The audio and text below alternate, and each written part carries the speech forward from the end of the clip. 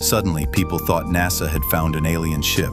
So why did the alien probe idea even come up? Enter Avi Loeb. He's a Harvard astronomer known for provocative ideas. Shortly after the discovery, he posted a paper asking whether 3I/ATLAS could be alien technology.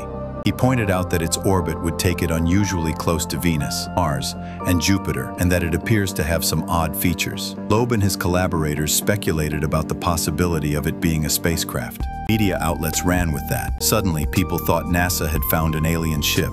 In truth, Loeb himself acknowledged that the simplest explanation is that it's a natural comet, but the story captured imaginations. Aliens sell newspapers or clicks. And yet NASA scientists responded pretty quickly. Tom Statler, NASA's lead scientist for solar system small bodies, said, and I quote, It looks like a comet. Does comet things. It very strongly resembles the comets that we know.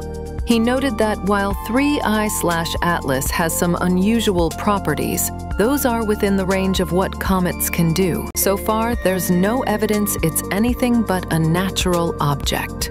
We should approach extraordinary claims with extraordinary evidence. At this point, all data points to a comet. Still, the excitement is understandable.